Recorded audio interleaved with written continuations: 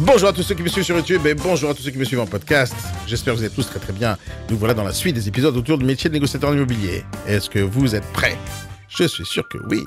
Aujourd'hui, je vais vous parler des différents métiers qui existent dans l'immobilier. Donc, le négociateur immobilier, c'est le métier de base, et après, il y a les spécialisations. Donc, je vais vous en parler maintenant, ça va être le sujet du jour. Une petite parenthèse qui est très très importante. Vous pouvez retrouver, si vous êtes sur YouTube, vous pouvez retrouver toutes ces vidéos dans la playlist qui euh, se nomme le métier de négociateur immobilier. D'ailleurs, j'ai plusieurs playlists sur ma chaîne YouTube, euh, donc vous allez voir, c'est partagé selon les thèmes. Donc ça, c'est la première chose. Ça, c'est si vous êtes sur YouTube. Et si vous êtes en podcast, euh, vous allez retrouver tous ces épisodes-là sur ma chaîne de podcast qui s'appelle Le métier de négociateur immobilier. Pour la trouver, il suffit de chercher Daniel Nadjar, peu importe la plateforme de podcast sur laquelle vous êtes en train d'écouter. Vous êtes sur Spotify, vous allez la trouver. Vous êtes sur Deezer, vous allez la trouver. Vous êtes sur Apple Podcast, Spreaker, n'importe où, vous allez me trouver. Il suffit de chercher le métier négociateur immobilier ou chercher Daniel Nadjar, vous allez retrouver plein plein plein de trucs à moi. Ok, ça c'était la petite parenthèse. Et on va se lancer directement dans l'épisode. On va parler du métier de négociateur immobilier, mais quelles sont les spécialisations différentes et qu'est-ce qu'il faut euh, espérer faire dans ce métier et pourquoi il faut se lancer dans tel ou tel secteur d'activité. C'est le sujet de maintenant. Ben, on va commencer, ça suffit de blablater, mon cher Daniel. Une petite parenthèse encore une fois. Pour ceux qui veulent se lancer dans l'immobilier réellement, pour ceux qui veulent travailler, pour ceux qui ont des questions à me poser, si vous avez besoin d'aide, de réflexion, de prise de décision, vous êtes avancé pas avancé dans ce projet, vous avez un lien en bas de cette vidéo pour pouvoir prendre un rendez-vous avec moi, tout simplement. Donc vous cliquez, c'est mon agenda, vous cliquez, vous prenez un rendez-vous et c'est parti. Tous les liens sont dans la description. Il y a plein d'autres liens sur les différents podcasts, sur les différents trucs. Allez-y vous amuser là-bas, ça va être super cool. Donc on va parler des différents métiers qui existent dans le métier de négociateur en immobilier. Donc le métier de négociateur immobilier, c'est la base, mais maintenant, il faut commencer à vendre des produits. Donc là, on va parler des différents produits qui sont aussi des différentes spécialisations. En fait, chaque type de produit qu'on va vendre va attirer une certaine clientèle. La majorité des gens qui se lancent dans ce métier, ceux qui viennent de débuter, la majorité d'entre eux vont, quand je dis euh, la majorité, c'est 90% d'entre eux, vont se lancer directement vers un secteur de l'immobilier, vers une spécialisation, qui est la vente d'appartements dans l'ancien, ou la vente de maisons dans l'ancien. Qu'on en appelle dans l'ancien, dans l'ancien, c'est-à-dire c'est des maisons qui sont déjà construites, des appartements déjà construits, donc ils sont pas neufs. Ils ont déjà été loués ou achetés ou vendus à d'autres personnes, donc ils sont pas neufs, ils ont déjà une deuxième main. On appelle ça dans l'ancien. Disons que la vente dans l'ancien, dans certains secteurs, c'est bien, il y a du charme, c'est sympathique, etc. Et c'est ce qui se vend la majorité du temps en France. Euh, mais il y a aussi ce qu'on appelle le neuf, Donc il y a plusieurs différentes. Donc là, je vais vous faire, je vais faire passer devant vous, euh, derrière moi là maintenant, euh, des différentes vignettes sur les différentes, différents métiers qui existent dans ce domaine. Et vous allez voir que au final, l'immobilier, c'est pas que de la vente de biens dans le résidentiel. C'est-à-dire que quand on parle de vente dans l'ancien, en général, on travaille avec une certaine clientèle et cette clientèle, ce sont des particuliers. Et ces particuliers, ils achètent pour habiter. Donc, on appelle ça la vente dans l'ancien pour les particuliers. Donc, ça, c'est un secteur. La majorité des agences immobilières travaillent sur ce secteur, la majorité. Maintenant, il y a d'autres spécialisations et on va les voir tout de suite une par une. Donc, il faut savoir que dans ce métier de, de l'immobilier, il y a euh, euh, une partie des acheteurs qui se, euh, une partie des ventes qui se font aujourd'hui en France sont faites par des investisseurs. Une partie des acheteurs et des parties des ventes qui se font en France sont faites par des investisseurs. Alors c'est quoi des particuliers, excusez-moi, et des investisseurs? Donc le marché est, réparti en 30-70. 30%, ce sont les particuliers et 70% sont les investisseurs. Alors, c'est quoi un particulier? C'est quelqu'un qui achète pour habiter. C'est quoi un investisseur? C'est quelqu'un qui achète une deuxième maison, mais pas pour habiter, par contre, pour investir, pour louer, pour du Airbnb, pour du travail, peu importe. Et donc, ça, c'est une grosse partie des ventes. Et pourtant, 100% du marché ou 90% du marché ou 99% du marché va se préoccuper de la vente dans l'ancien, donc qui est une toute petite partie du marché. Donc, quand vous réfléchissez négociateur immobilier, c'est très probable que vous avez pensé que négociateur immobilier, c'est que ça. Euh, c'est probable que vous pensez que ça soit ça, c'est probable. Mais euh, ce n'est pas le cas. Il y a d'autres façons de travailler dans l'immobilier. Donc la première façon, c'est travailler dans l'ancien.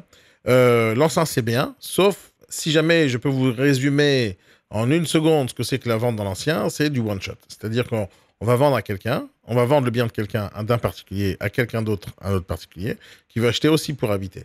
En moyenne, en France, quelqu'un qui achète pour habiter, la prochaine fois qu'il va revendre, en moyenne, c'est 7 ans. C'est en France, c'est la moyenne.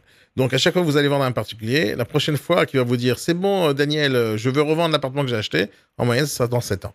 J'ai bien en moyenne en France, parce que des fois c'est 15 ans, des fois c'est 30 ans. Et donc, c'est pour ça que c'est très souvent du one-shot, parce qu'on n'a pas le temps de faire plusieurs ventes avec la même personne sur toute une carrière. Des fois, on a le temps, des fois, on n'a pas le temps, parce que des fois, ça dure beaucoup, très, très longtemps. Et donc, à chaque fois, on va trouver des nouveaux prospects, etc. Bon, c'est une façon de travailler dans l'immobilier ce qui n'est pas la mienne. Euh, mais bien sûr, on forme des négociateurs à faire ça parce que ça fait partie des, choses qui vont être adaptées aux compétences des personnes. Euh, chaque personne va être attirée par un type de produit. Euh, et donc, il va être plus à l'aise en vendant ou à des particuliers, ou plus à l'aise en travaillant avec des jeunes, ou plus à l'aise en travaillant avec des investisseurs, ou plus à l'aise en travaillant avec des professionnels. Ça dépend encore une fois du profil. C'est pour ça que si jamais vous ne vous savez pas, si vous voulez vous lancer dans l'immobilier et vous êtes en train de réfléchir dans quel domaine vous allez vous lancer, vous allez réfléchir dans quel domaine, dans quel réseau vous allez travailler, etc. Moi, je vous conseille de faire une chose, c'est de euh, cliquer sur le lien en bas de la vidéo, prendre rendez-vous avec moi, et vous posez toutes vos questions, et je vous donne la meilleure agence, le meilleur réseau qui sera fait pour vous, le même style ou le bon style de, réseau qui pourrait vous correspondre. Donc, faites un rendez-vous avec moi, ou parlez-moi, envoyez-moi un message, envoyez-moi un SMS, appelez-nous au téléphone, peu importe, et je vous assure que je vous répondrai à toutes les questions. Donc, la première partie des spécialisations qui existent dans ce métier, c'est euh, vendre dans l'ancien. OK? Euh, mais après, il y a une autre partie. Et ces autres parties vont toucher un peu plus les, investisseurs, les marchands de biens ou les professionnels.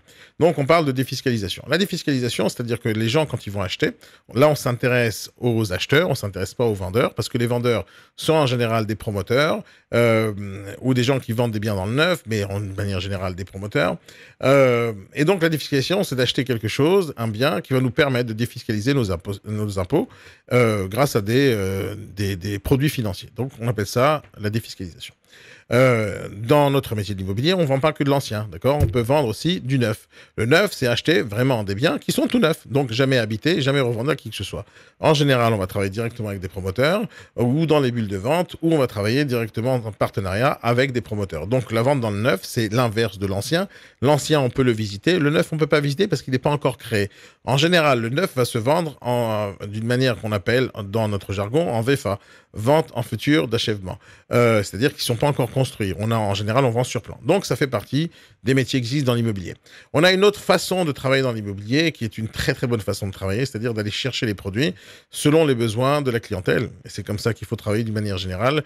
Et en général, on va travailler comme ça avec des gens spéciaux, donc des investisseurs, des marchands de biens, qui ont des vrais cahiers des charges et dont on sait exactement leur recherche et on sait qu'ils vont acheter aussi. On sait qu'ils ont l'argent pour payer une commission pour ça. On a dans notre métier euh, un, un, domaine très très important qui s'appelle la gestion locative. C'est très important pour des particuliers, c'est très important pour les investisseurs marchands de biens qui ont besoin de mettre leurs biens en gestion. Donc, café, hôtel, restaurant. Café, c'est vendre des cafés, des brasseries, donc c'est une spécialisation. Hôtel, c'est vendre des hôtels. Restaurant, c'est vendre des restaurants. Chacun d'entre eux, ce sont en général, on vend des fonds de commerce ou des murs.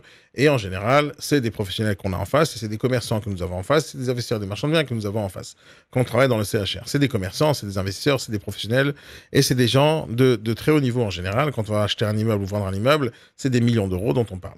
Donc, quand on est dans ce niveau-là, c'est le plus high level de domaine dans l'immobilier où on gagne le plus d'argent possible, parce que c'est des domaines très complexes. Tous les domaines que je vous ai montrés maintenant sont des domaines très complexes, qui est à l'inverse du métier de vente dans l'ancien, qui, est la partie la plus facile dans ce métier. Et c'est pour ça que tout le monde y va, parce que c'est simple et c'est facile. Mais euh, c'est pas celui qui est le plus rémunérateur. Après, il y a les IMB. Les IMB, c'est ce que j'appelle moi euh, les investisseurs et les marchands de biens. IMB, c'est un terme que moi j'ai donné aux investisseurs marchands de biens. Je fais des formations pour les investisseurs marchands de biens. Je forme des négociateurs à travailler avec les investisseurs marchands de biens et je fais ça depuis 20 ans. C'est ma spécialisation. Donc, quand on travaille avec les investisseurs marchands de biens, on va travailler avec bien sûr des investisseurs, des marchands de biens, des commerçants, des gens qui vont acheter des fonds de commerce, des gens qui vont acheter des locaux commerciaux, etc. Et d'une manière générale, les gens qu'on a en face de nous sont des vrais professionnels qui savent négocier, qui savent travailler et qui veulent toujours le meilleur dans leur secteur pour pouvoir faire des bonnes affaires. Ces gens-là sont là pour l'argent. Et la dernière partie, c'est euh, le viager. Euh, c'est juste au fond, le viager. Le viager, c'est encore une fois un autre secteur, une autre spécialisation où on va travailler d'un côté avec des vieilles personnes, donc des personnes âgées autour de 65-75 ans, et on va prendre des produits, on va les mettre en viager, on va les vendre à des investisseurs. Donc c'est encore une fois une partie où on va travailler avec beaucoup de professionnels, mais avec des fournisseurs de biens, ceux, des propriétaires de biens qui sont justement des personnes âgées. Donc c'est un secteur ultra intéressant, ultra rémunérateur, surtout parce qu'il est très c'est une vraie niche, ce métier-là. Il y a très peu de personnes qui le font. Lorsqu'on parle de fonds de commerce, boutiques, immeubles, etc., très peu de personnes le font. Mais dès qu'on parle de travailler dans l'ancien, comme la majorité des agences immobilières, là, on, rentre dans un marché où, qui est très, très, très concurrentiel, où on va devoir taper des coudes pour pouvoir réussir. Donc, ça, c'est vraiment la différence dans les spécialisations qui existent sur le marché immobilier français. Donc en France, lorsque vous allez postuler dans une des agences ou des réseaux, vous allez voir que la majorité du temps, la majorité, grande, grande, grande majorité du temps, vous allez, euh, on va vous proposer de travailler dans l'ancien et faire des ventes dans l'ancien. C'est ça qui va se passer. Et dès qu'on vous dit, mais je veux faire la déficit, je veux faire du neuf, il n'y a plus personne. Dès qu'on vous dit travailler avec des acheteurs marchands, il n'y a plus personne. Euh, donc, si votre envie, c'est de d'abord de gagner le plus d'argent possible euh, et d'être capable de développer une activité dans un domaine moins concurrencé que le domaine le plus concurrencé du marché, qui est le particulier, ben, il faut commencer à apprendre des nouvelles compétences et à aller se concentrer sur les professionnels et non pas les particuliers. Donc ça, ça fait partie des choses que nous proposons, par exemple, dans notre école de formation c'est-à-dire de la formation sur le métier, d'apprendre les différents métiers dans ce domaine, parce qu'on ne peut pas rester toute sa vie en vendant des appartements à des gens qui habitent dedans, on ne peut pas faire que ça, il y a, d'autres choses. Et pour pouvoir aller euh, explorer les nouveaux univers qui existent dans ce métier, il faut passer par une seule et unique étape, ça s'appelle la formation. On apprend le métier, on expérimente et on développe des compétences, et à ce moment-là, on rentre dans différents cercles. Cette façon de réfléchir, elle est, euh, elle est propre à moi, hein, parce que c'est moi qui développe ce genre de, de services et de formation pour les négociateurs, parce que la majorité du temps, on va travailler que dans l'ancien, et c'est pas bon parce que ce marché est saturé aujourd'hui. Donc rien ne vous empêche demain de travailler et de faire un peu de sous. Mais le, vrai argent, c'est quand vous êtes capable de proposer plusieurs services différents. C'est-à-dire que chaque personne que vous allez rencontrer dans la rue, chaque personne qui fait partie de vos connaissances, vous êtes capable de lui proposer un service. Ok, il a envie d'acheter dans l'ancien, vendez dans l'ancien. Il veut acheter un fonds de commerce, vendez un fonds de commerce. Il veut acheter du viager, vendez du viager. Il veut tout simplement prendre un, un, crédit, un crédit immobilier, amène-lui chez ton courtier. Et à chaque fois qu'on va faire ce genre de service et de travail, on va être capable de gagner des commissions parce qu'on réfléchit que comme ça dans notre métier. C'est de réfléchir sur des commissions, sur des services rendus ou sur l'intermédiation. Et donc, plus on a des intermédiaires, plus on est capable de gagner des sous en tant qu'apporteur d'affaires ou en tant que la personne qui va exercer. Donc, quand vous rentrez dans ce métier, quand vous avez envie de vous lancer, c'est important de savoir dans quoi vous avez envie de vous lancer et dans quelle direction vous avez envie de lancer votre carrière. Maintenant, la difficulté, elle n'est pas de comprendre ce que je suis en train de dire. Ça, pour moi, je pense que c'est compréhensible pour vous. Mais la question est, quand est-ce que vous allez choisir quel secteur? Vous ne savez pas encore. Quand vous vous lancez dans l'immobilier, vous ne savez pas dans quel secteur il faudra vous lancer. Et eh bien moi, je vais vous dire comment il faut faire. Il faut faire un truc super simple. Il faut tester tous les domaines. Il faut tous les, tester. Donc, quand vous rentrez dans une agence ou un réseau, alors déjà, moi, je vais vous conseiller, euh, et comment je vais le faire, en prenant rendez-vous avec vous. Euh, en prenant rendez-vous vous. Fait, vous, vous allez prendre rendez-vous avec moi parce que le lien est dans la description de la vidéo. Donc, vous pouvez faire ça à n'importe quel moment. Vous cliquez, vous prenez rendez-vous avec moi. Et quand vous êtes prêt à vous lancer, moi, je vous conseille de faire un rendez-vous avec moi pour que je puisse étudier votre profil en discutant, tout simplement. Et je vous dirai, moi, je pense que vous serez mieux dans cette direction que dans cette direction. Et là, ça vous permet de choisir une carrière dès le premier jour comme il le faut. Ça dépend de plein de choses. Hein. C'est-à-dire, pas tout le monde est fait pour travailler avec le particulier, même si c'est la chose la plus facile, pas tout le monde est fait. Moi, je suis pas fait pour travailler avec le particulier. Moi, je vous dis clairement, je suis pas fait. Je l'ai fait, je forme des gens à le faire, mais moi, j'ai pas assez de patience pour travailler avec ces gens-là. Moi, j'aime bien qu'il y ait du business, quand on gagne beaucoup de sous, quand on négocie, quand on travaille dur, quand on parle de grosses sommes. Et donc, c'est pour ça que je me suis dirigé depuis 20 ans sur les investisseurs, les marchands de biens, les fonds de commerce, les locaux commerciaux, les boutiques, les immeubles. Voilà, c'est ma spécialisation. Après, il y a des personnes qui adorent le particulier, mais le particulier, je vous dire la vérité, c'est très facile. C'est-à-dire, euh, c'est juste très facile à faire des affaires dans le particulier parce que les particuliers eux-mêmes ne sont pas des professionnels, ils connaissent pas grand-chose. Donc, euh, on est capable de leur vendre du service assez facilement. Par contre, aux professionnels, il faut être euh, ultra expérimenté, ultra formé et ultra professionnel. Donc, moi, ce que je veux vous dire aujourd'hui dans cette vidéo, dans cet épisode, c'est que il faut pas tout de suite se lancer dans l'immobilier directement vers le particulier et, et penser qu'on va en faire une carrière. Et je vous dire pourquoi il ne faut pas penser du tout à faire une carrière lorsque vous allez décider de travailler uniquement avec les particuliers. Parce que pour moi, aujourd'hui, dans, dans, l'époque où nous vivons, où Internet et la technologie se développent à une vitesse folle dingue, aujourd'hui, le particulier a énormément de services pour lui et énormément d'options pour se débrouiller seul. Ça ne veut pas dire qu'il peut se débrouiller seul, ça ne veut pas dire qu'il se débrouille seul bien, ça ne veut pas dire qu'il euh, euh, n'est pas nul, ça ne veut pas dire tout ça. Ça veut dire qu'il a des options pour se débrouiller seul. Une des options qu'il a, c'est le Bon Coin. Une autre option qu'il a, c'est le PAP. Une autre option qu'il a, il y en a plein d'autres, sont les réseaux sociaux pour vendre son bien. C'est assez facile pour un particulier de vendre un bien immobilier tout seul. Donc ça va lui prendre du temps, ça va lui prendre de l'énergie et il ne saura pas bien faire toutes les choses tout seul. Il va rater plusieurs offres, il va rater des ventes peut-être, mais il va quand même essayer de le faire seul parce qu'il n'a pas envie que ça lui coûte de l'argent.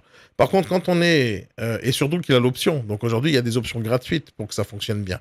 Euh, et les options gratuites, c'est euh, le bon point par exemple.